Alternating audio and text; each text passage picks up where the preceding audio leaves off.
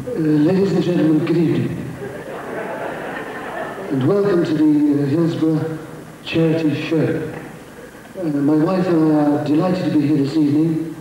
Uh, unfortunately, my mother should have been here, but uh, she's having difficulty in parking the car.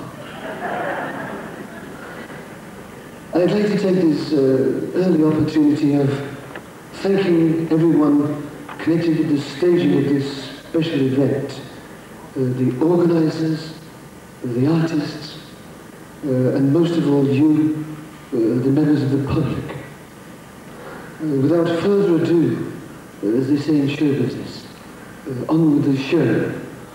So ladies and gentlemen, please welcome the Shandy Stage School.